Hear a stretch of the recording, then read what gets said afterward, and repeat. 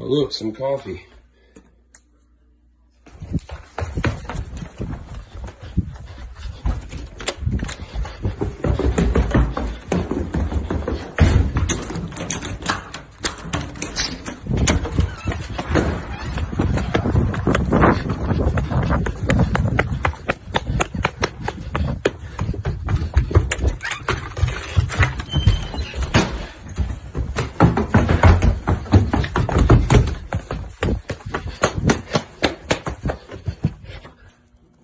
That's an awfully hot coffee pot.